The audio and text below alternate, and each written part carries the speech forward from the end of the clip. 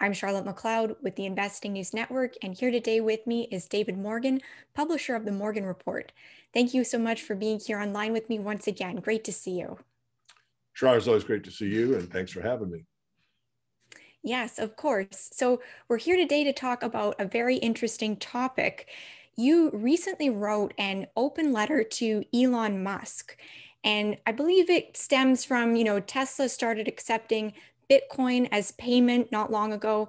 In your letter, you asked Elon Musk to consider accepting uh, silver through the Lode platform. So, lots to unpack there, but I think maybe we should start with Lode and just make sure that we understand what it is and how how this would work in your view.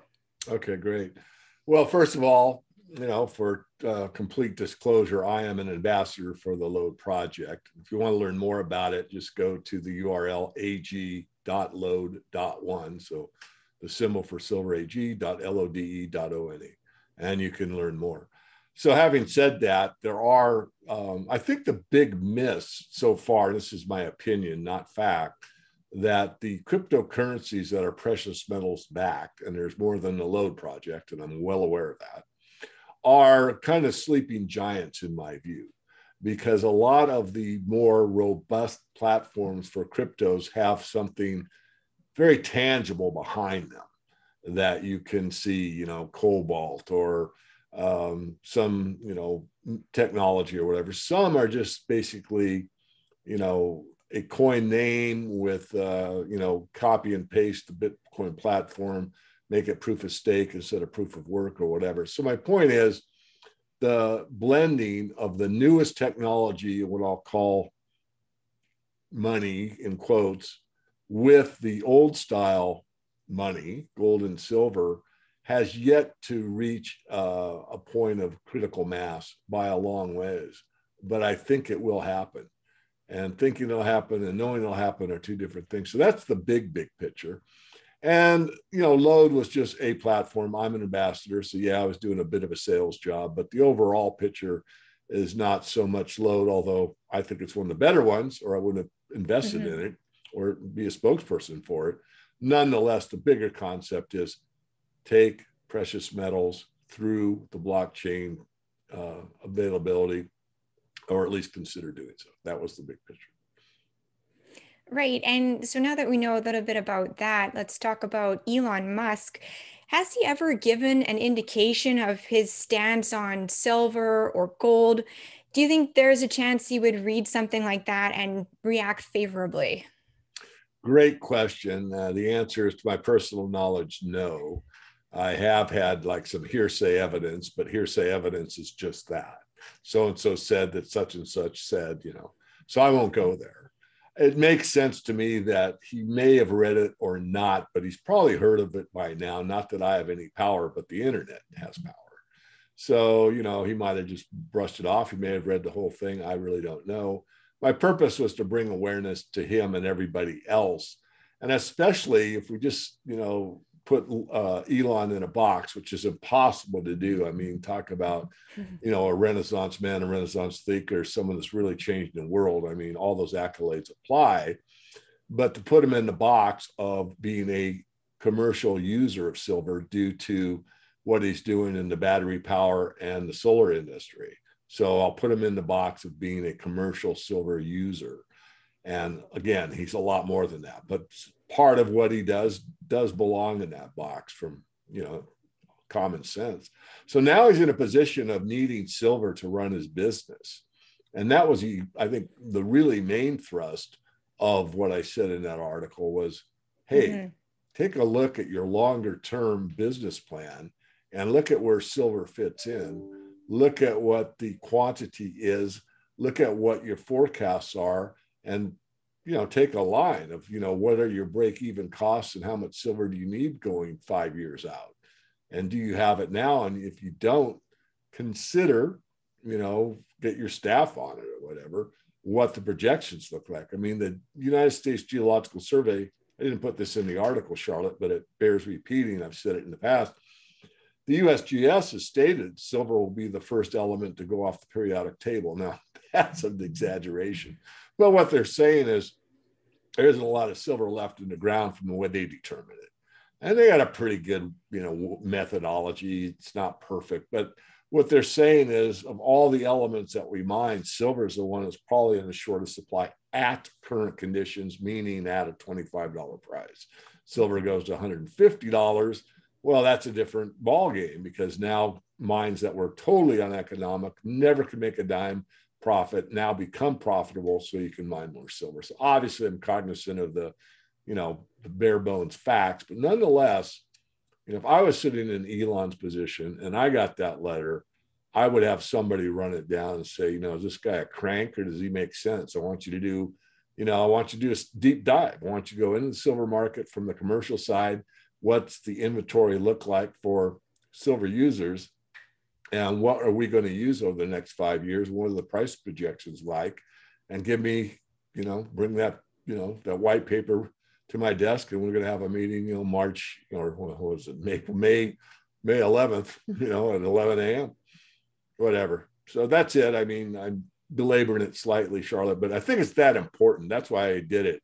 It's not just to him, it's to anybody that's not in the club right now that's already part of the Silver Users Association and has a direct relationship with the refiner that gets pretty much what they want on a first dibs basis new industries like his, not that solar's that new, but he's going to be a big, he'll have a big need. And he's not, as I say, in the club that's already kind of, let's say, a direct line. So he's going to have to go in the open market and get it. And that's a little different than going into, let's say, a source that you've already established for the last 30 years or so, where you've got first dibs on it. Okay, interesting. So there's there's a group that has access to silver through this this association that you're mentioning, and there's people like Elon Musk and Tesla who are outside that, and they need to go through other sources. So, how many people are in that position, like Elon Musk and Tesla? How many companies are there that might need to start securing their silver moving forward? Yeah, we don't know. I mean, he would be probably the primary one but you know mm-hmm. there's probably one a year out that hasn't been developed yet. It might be you know the biden solar usa company right? Making a different type of solar panel and they require x amount of silver and it turns out to be government subsidized or i shouldn't show my bias. Turns out to be one of the biggest solar panel producers two years from now. You know we don't know. What i will say about the Lode project is we are working on sourcing silver from multiple sources so that we are kind of you know one of the let's say first in line to get it direct from mines direct from refiners direct from silver streaming companies and last but not least from this uh, e-waste company that i've talked about for so many years that's finally uh, it's been a wait that's finally got on board with uh, recycling printed circuit boards with vast amounts of precious metals tin uh, silver, of course, uh, copper at the front end. So it's a very lucrative and needed business. I mean, why take something like copper or silver or gold or any of those precious elements that take so much energy, time, and effort to get out of the ground and then just throw them away and put it back in the ground?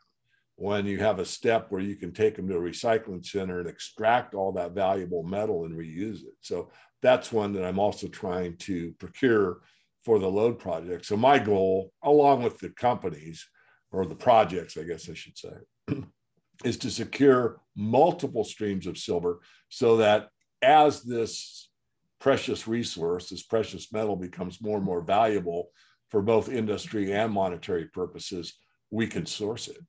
And that mm-hmm. again is kind of the gist of the articles like, hey Elon, you know, it's a it could be a sourcing issue. You might want to take a look. Right. And, you know, speaking of sourcing issues, what is the investor demand for silver looking like? I know we saw quite quite some activity toward the beginning of the year. Now we're about three and a half months into the year. Is it still going strong? It is, and I did this last time, but I think it's so important. I need to repeat it. 2020, the demand for silver investment wise was off the charts. We've never seen anything like the demand we had in 2020. We had over 300 million ounces that was uh, required going into the ETPs, exchange traded products. Most are known as ETFs because most of them are. And then the retail side, which is a good year is 100 million ounces, was like a 200 million ounces. So the total silver market's like 800 million ounces mined and another round number rounding up 200 million ounces recycled. So you're looking at over half of the silver market being demanded for investment purposes. That was last year. This year, I don't, we don't know the numbers yet. In fact, the first quarter's numbers are just coming in for some of the mines, so we don't know. Mm-hmm. But from anecdotal evidence, and I, it's more than hearsay, I would state, is very robust. It's very uh, strong on many places. And one that's kind of overlooked, it's not overlooked by you, but by, let's say, some people that are not that familiar with the silver market, is that a lot of silver has been purchased on a, in a paper form that purportedly can be exchanged for physical silver with, you know, basically a phone call. So a lot of these accounts that are called unallocated or pool accounts in their statement uh, depends who you look at because each contract is slightly different. But basically, hey, we're holding your metal, but you don't have to pay fees because it's kind of working inventory. Those are my words, but in a lot of cases it is. And uh, you know, if you want it fabricated into uh, a silver product, a retail silver product, you pay the fabrication cost, and we'll deliver your metal.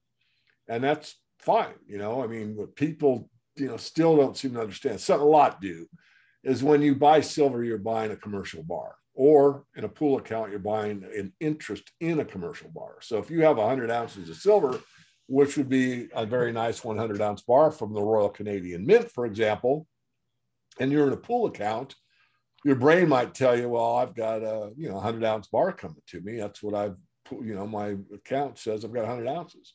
Yes, you have one tenth of a thousand ounce bar, and you need to fabricate that bar into one 100 ounce bar which costs money costs time effort energy has to be you know uh, shipped out you know reference put in the book on the books all that.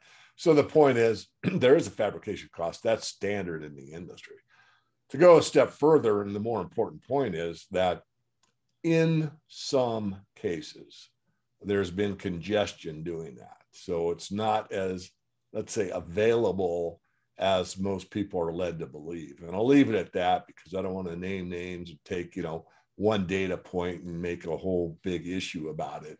But we are watching it closely, we and many others, on what's really going on in these unallocated and pool accounts as far as people coming into metal they've already purchased, changing the form from uh, you know paper or synthetic into physical and what is that causing in the industry?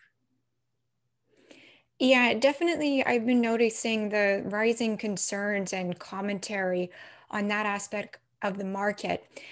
I maybe this is a good time to talk about you know, we have these increasing concerns about unallocated accounts, ETFs. Is the silver really there to back them up? Things like that. How is Lode different? Is it the blockchain element that ensures that you know that the metal behind it is actually where it is, should be? Great question. I'll answer to the best of my ability. I do actually, I'll do it publicly, think that you might have, uh, might be a good interview for you to get to, let's say, the main spokesperson. But yeah, it's the blockchain and the mm-hmm. silver mm-hmm. monetary mass is audited. I'll be honest, it has not been audited in some time. In fact, I'll say it's past due, but it has been and will be.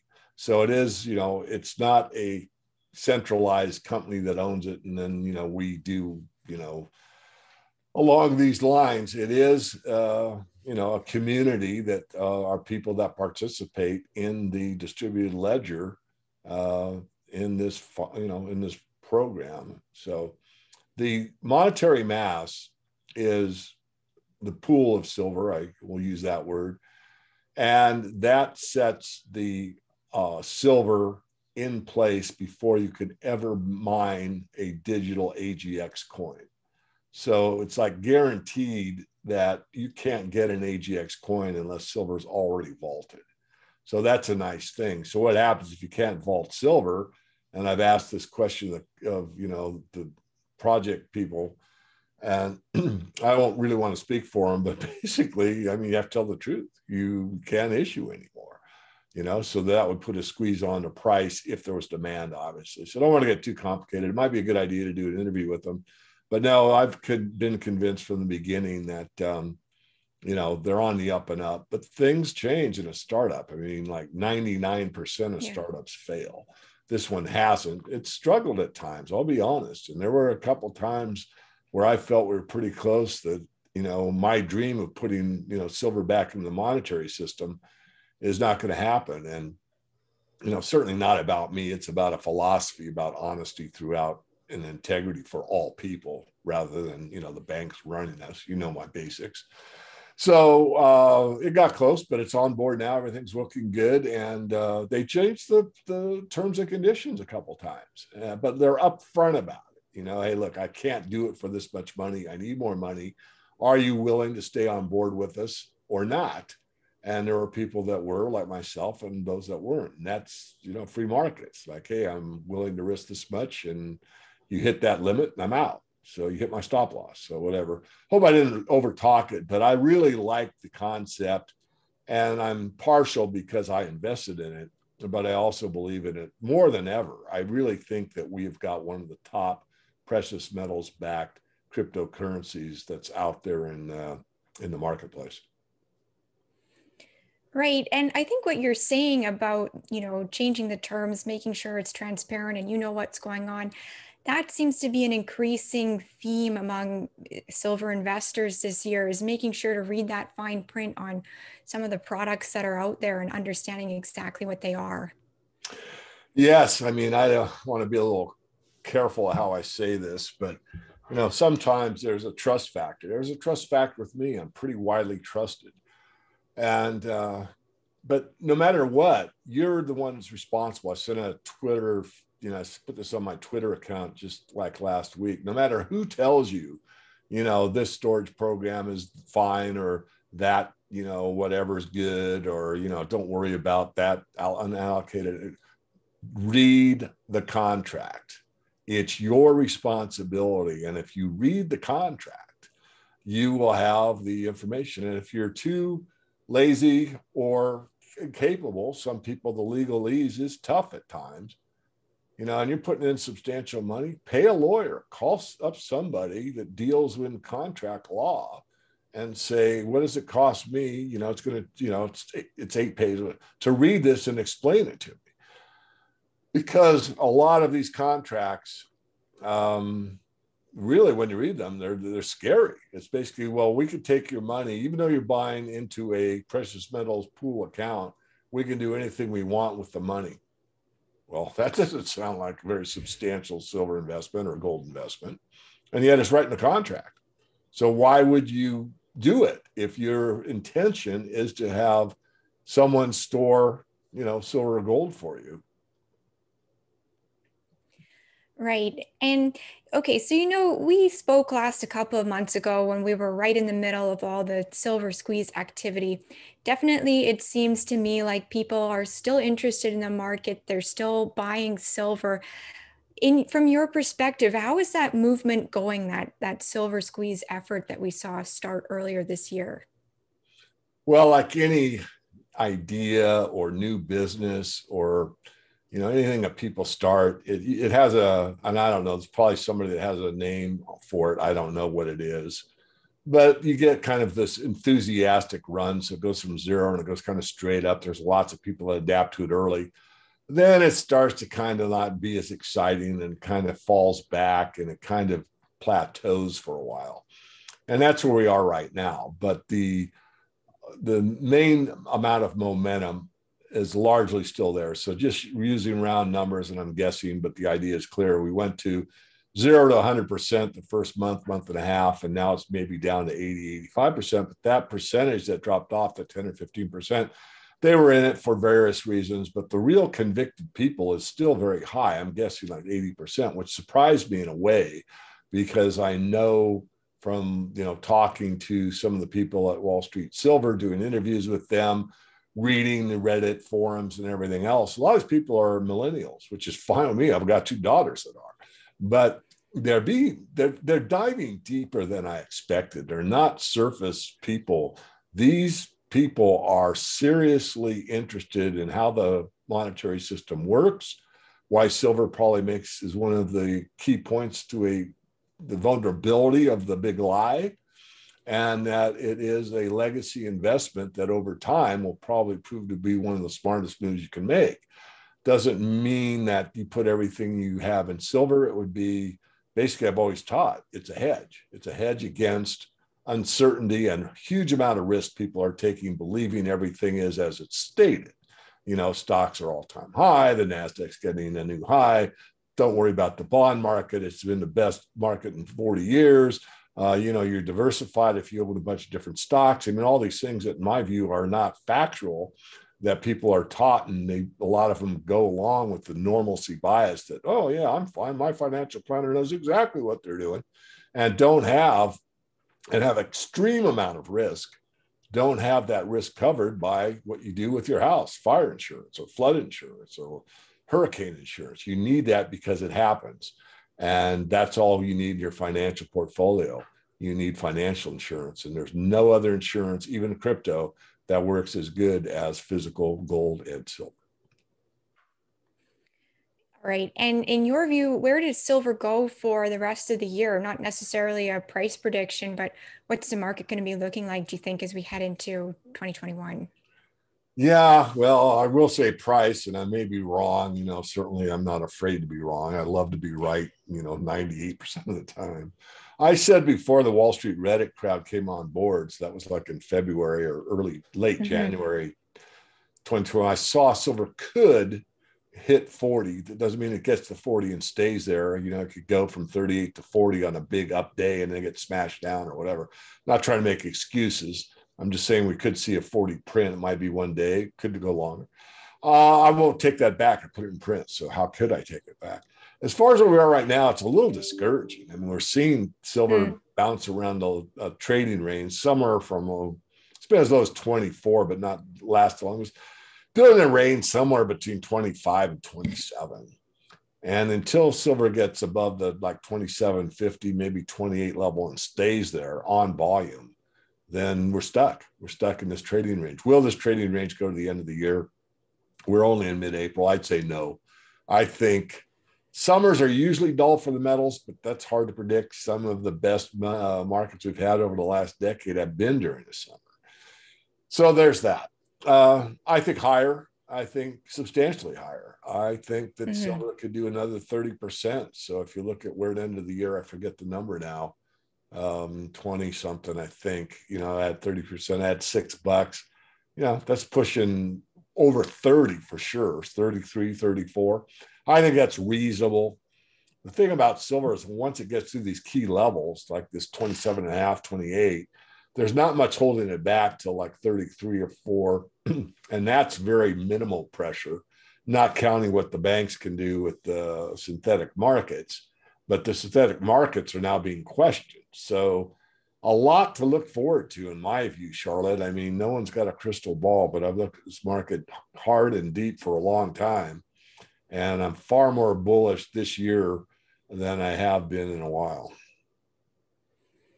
Perfect. And any final words you would leave the audience with? Uh, perhaps let us know where we can find you in this in this market where knowledge is more important than ever. Thank you.